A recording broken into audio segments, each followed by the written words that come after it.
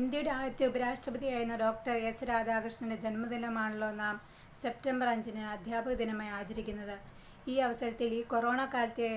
അതിജീവിച്ചുകൊണ്ട് തങ്ങളുടെ കുഞ്ഞുങ്ങളിലേക്ക് അറിവിന്റെ ആദ്യാക്ഷരം പകർന്നു നൽകാനായി ഓരോ ദിവസങ്ങളിലും ഈവനിംഗ് ക്ലാസ് നടത്തിക്കൊണ്ടും ഞായറാഴ്ച ദിവസങ്ങളിൽ കലാപരമായ പരിപാടികൾ നടത്തിക്കൊണ്ടും കുഞ്ഞുങ്ങളുമായി ഫോണിൽ സംസാരിച്ചും അവരെ വീടുകളിൽ സന്ദർശിച്ചുകൊണ്ടും കുഞ്ഞുങ്ങൾക്ക് അറിവിന്റെ നല്ല അക്ഷരങ്ങൾ പകർന്നു നൽകുന്ന third camp government L P സ്കൂളിലെ പ്രധാന അധ്യാപികയായ ശ്രീദേവി ടീച്ചറിനും മറ്റെല്ലാ സ്നേഹം നിറഞ്ഞ അധ്യാപകർക്കും എന്റെ എന്റെ കുടുംബത്തിന്റെയും ഒരായിരം അധ്യാപക ദിന ആശംസകൾ താങ്ക് യു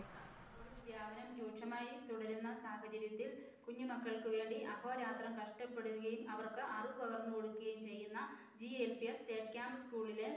എച്ച് എം അവരുടെ ക്ലാസ് ടീച്ചറായ സുനിത ടീച്ചർ മനസ്സാറ് മറ്റെല്ലാ അധ്യാപകർക്കും സ്നേഹം നിറഞ്ഞ അധ്യാപക ദിന ആശംസകൾ